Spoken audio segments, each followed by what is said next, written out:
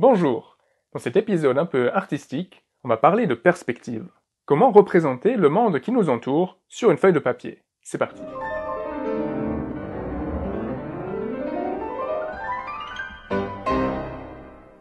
Tout d'abord, commençons par réfléchir sur ce que ça veut dire voir le monde. Qu'est-ce que c'est la vue? Quand on voit un objet, en fait, il y a un rayon lumineux qui part de l'objet, qui traverse l'espace en ligne droite, traverse notre œil et tape sur notre rétine.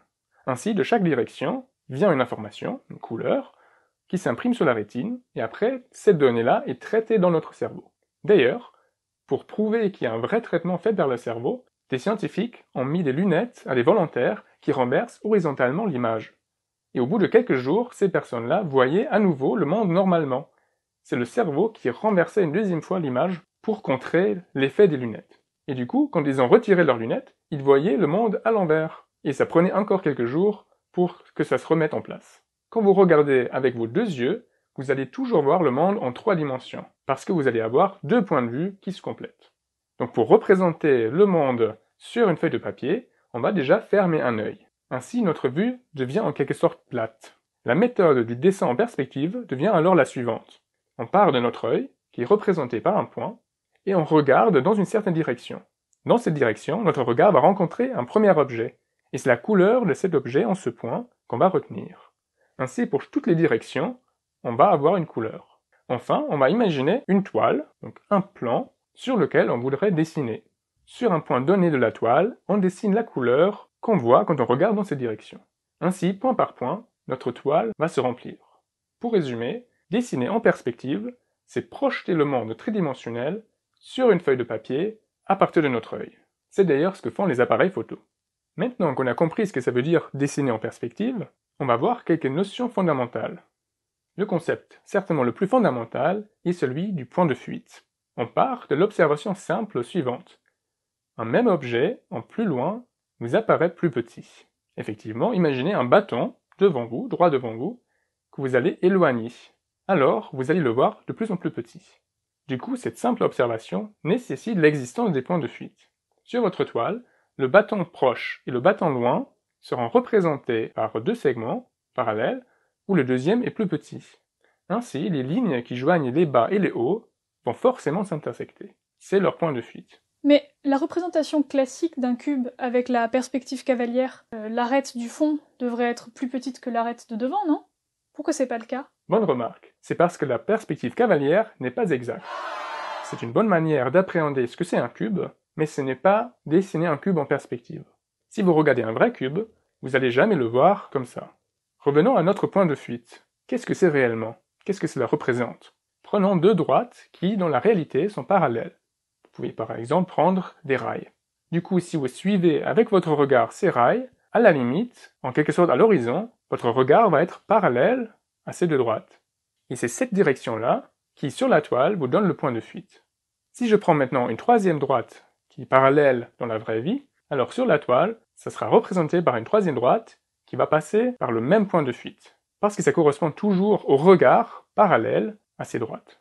Du coup, un point de fuite, c'est l'intersection de droites sur votre toile qui représente dans la réalité des droites parallèles. Prenons par exemple cette photo d'une rue. On peut tracer dans cette photo plusieurs lignes, les bords de la rue, les bords des bâtiments, qui vont tous converger vers un point, leur point de fuite. Et effectivement, dans la vraie vie, ces droites correspondent à des droites parallèles du concept de point de fuite découle le concept de la ligne d'horizon. Vous, le peintre, vous êtes debout sur la Terre, comme représenté par un plan. Alors vous allez représenter l'horizon sur votre toile par une ligne. C'est la ligne d'horizon. Et du coup, cette ligne d'horizon, c'est l'ensemble des points de fuite engendrés par des lignes parallèles au sol. Et maintenant, travaux pratiques. Je vais vous donner quelques constructions utiles pour dessiner en perspective. Déjà, une remarque assez simple. Un point sera toujours représenté par un point et une droite toujours par une droite. Cela implique que le dessin en perspective respecte les alignements et les intersections. Quand vous avez trois points dans la réalité qui sont alignés, ils seront alignés sur votre dessin. Et quand trois droites dans la vraie vie s'intersectent, ils vont s'intersecter également sur votre dessin. En plus, le dessin en perspective préserve les points de contact. C'est-à-dire quand vous avez deux courbes tangentes l'une à l'autre, par exemple un cercle inscrit dans un carré, alors sur votre toile, vous allez avoir deux courbes qui seront également tangentes. Ensuite, N'ayez pas peur des points à l'infini. Ils sont comme tous les autres. En particulier, deux droites parallèles, en fait, ils s'intersectent. Ils s'intersectent à l'infini. Et comme le dessin en perspective préserve les intersections, les droites parallèles en réalité doivent être représentées par des droites qui s'intersectent, justement, dans leur point de fuite. Commençons par la construction d'un carré avec deux points de fuite. On commence par tracer la ligne d'horizon, et on va choisir arbitrairement deux points de fuite dessus. Après, à partir de chaque point de fuite, vous tracez une paire de droites. Alors l'intersection de ces quatre droites sera votre carré. Du coup, ce que vous voyez sur votre dessin, c'est un quadrilatère où les paires de côtés opposés convergent vers les points de fuite. Du coup, dans la réalité, ça correspond à un quadrilatère où les côtés opposés sont parallèles. Donc a priori, il s'agit d'un parallélogramme seulement. Quant à la question de savoir s'il s'agit réellement d'un carré ou pas, on va y revenir plus tard. À partir de votre carré en perspective, ou votre parallélogramme, voici comment construire les milieux des côtés. Vous commencez par tracer les diagonales. Vous obtenez un point d'intersection, qui d'ailleurs correspond au centre de votre carré, et vous allez le relier aux deux points de fuite. L'intersection de ces deux droites avec les côtés du quadrilatère correspondent au milieu. En effet, si je prends cette construction et je la remets dans la réalité, ça représente deux droites parallèles aux côtés passant par le centre. Et en effet, ces droites intersectent les côtés en leur milieu. On vient de voir comment couper une longueur en deux, voici comment faire pour la dédoubler. Donc on part d'un segment, qu'on prolonge jusqu'à ce qu'il intersecte la ligne d'horizon, ça va nous donner le point de fuite de ce segment. Maintenant vous allez choisir un autre point de fuite, arbitraire, et avec la méthode précédente, vous allez construire un quadrilatère qui s'appuie sur votre segment. Vous construisez les milieux des côtés, et maintenant, vous allez prendre ce sommet, le lier à ce milieu, et l'intersecter avec la droite. Ainsi, vous allez obtenir le dédoublement de votre segment initial. En effet, si je remets ce dessin dans la réalité, ça correspond à un carré où je prends un sommet, le lie à un des milieux des côtés, et le prolonge pour l'intersecter avec cette droite. Et du coup, en effet, on a dédoublé le côté du carré, c'est simplement le théorème de Thalès. Enfin, un peu plus compliqué, on va construire le cercle inscrit à notre carré. Déjà, un cercle en perspective, ça sera représenté par une ellipse. Mais étant donné un quadrilatère, comment trouver la bonne ellipse? Dans le dessin de la réalité, le cercle inscrit touche les côtés du carré en leur milieu. Du coup, en utilisant la méthode précédente, on va commencer par construire les milieux des quatre côtés. Du coup, on cherche maintenant une ellipse qui passe par ces quatre points. On va les noter ABCD. Pour construire le centre de votre ellipse, vous devez prendre le milieu de AC, le relier à l'autre point de fuite, puis prendre le milieu de BD le lier euh, au point de fuite, et intersecter ces deux lignes-là. Ça va vous donner le centre de votre ellipse. Si vous voulez comprendre pourquoi ça marche, je vous donne rendez-vous pour la prochaine vidéo à deux tomates sur la perspective. À partir de ce centre, vous pouvez refléter les points A, B, C, D. Et du coup, avec ces 8 points, vous pouvez raisonnablement tracer votre ellipse à la main. Pour ceux que ça intéresse, il est possible de construire les axes et les foyers de cette ellipse, mais c'est vraiment très compliqué. Je vous renvoie aux références dans la description. Mais on peut constater qu'en général, les deux axes de l'ellipse n'ont rien à voir avec les deux points de fuite, à part dans le cas particulier où votre quadrilatère est un trapèze. Dans ce cas, le petit axe passe par le point de fuite et le grand axe est bien parallèle aux deux côtés, mais il passe en dessous des deux points de contact. Voilà, avec ces quelques constructions, vous êtes prêt à dessiner des, carrés, des cubes et même des cylindres. Et maintenant, à vos crayons, on va dessiner une pièce en perspective. Commencez par placer un point au milieu du bord supérieur de votre feuille. Ensuite, tracez plusieurs points sur le bord inférieur. Là, j'en ai tracé 10. Puis reliez le point supérieur à tous les points inférieurs. Ensuite, Tracez arbitrairement une première ligne horizontale, parallèle au bord de la feuille. Prenez le quadrilatère le plus à gauche et tracez sa diagonale. Prolongez-la sur toute la feuille. Considérez maintenant chaque intersection de cette diagonale avec les lignes du début. À chaque intersection, vous allez pouvoir tracer une nouvelle ligne horizontale. Vous avez ainsi obtenu un joli quadrillage en perspective. Effacez les lignes de construction, mais gardez le point de fuite au cas où.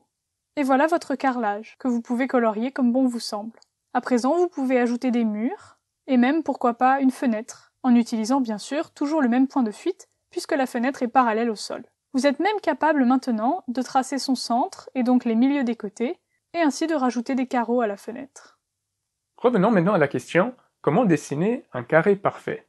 Quand on cherche un peu sur YouTube, on tombe sur plusieurs vidéos qui semblent expliquer comment dessiner parfaitement un carré et pas juste n'importe quel parallélogramme.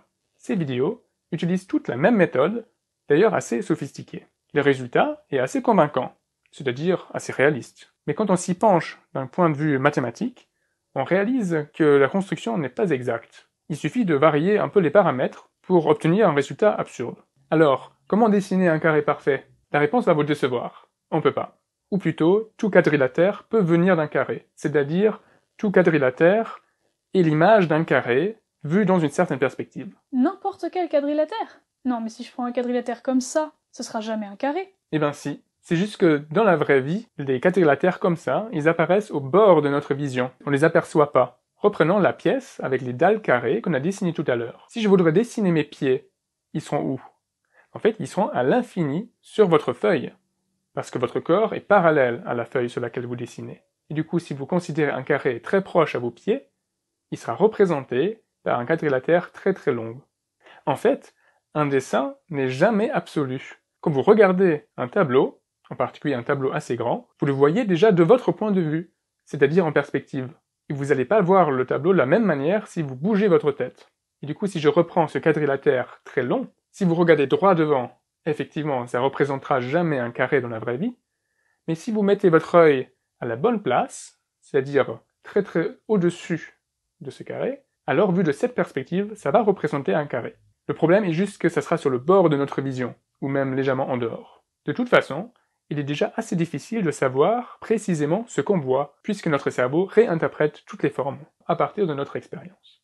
Allez, vous n'en faites pas. Je vais vous donner une méthode beaucoup moins sophistiquée pour obtenir un carré raisonnable. Attention, cette méthode est incomplète parce qu'elle traite seulement un cas très particulier.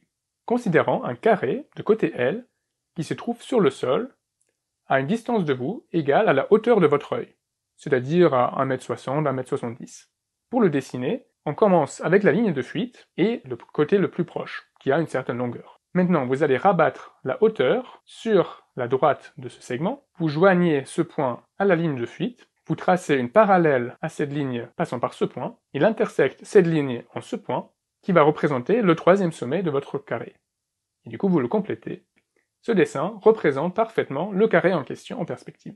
Et d'ailleurs, à partir de ce carré, vous pouvez en construire plein d'autres avec la méthode que Eve nous a expliquée tout à l'heure. Enfin, on va s'intéresser à dessiner non pas sur une feuille de papier, mais sur des surfaces qui peuvent être courbées. En fait, quand vous fermez un œil, vous ne pouvez pas distinguer les distances. Et cette propriété est à la base de nombreuses illusions d'optique. En effet, comme ce qui est plus loin doit vous apparaître plus petit, si vous le voyez de la même taille, vous pensez que c'est au même niveau.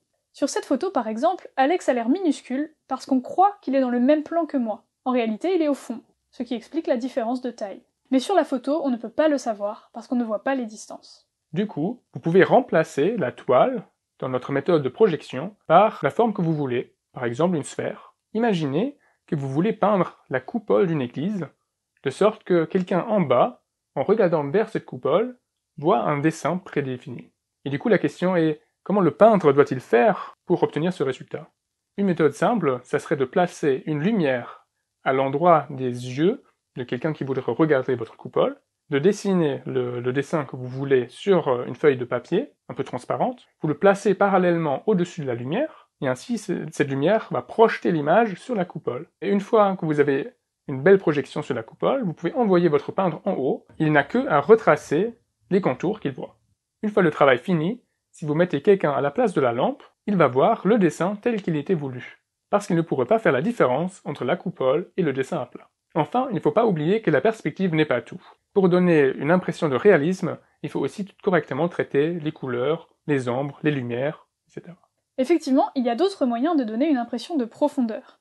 On peut par exemple citer la perspective atmosphérique, beaucoup utilisée par Léonard de Vinci. Prenez son œuvre la plus connue, la Joconde. Tout ce qui est au premier plan est représenté de façon nette et avec beaucoup de couleurs et de contrastes. Et ensuite, plus on s'éloigne, et plus les objets perdent de leur contraste et deviennent bleus. On parle de bleuissement. Et enfin, on peut aussi décider volontairement, dans un but artistique, de ne pas respecter les règles de la perspective. Regardez par exemple cette œuvre de Salomé Aman. Outre la représentation de la colline, qui semble plate, concentrez-vous sur les ruches. Qu'ont-elles de particulier?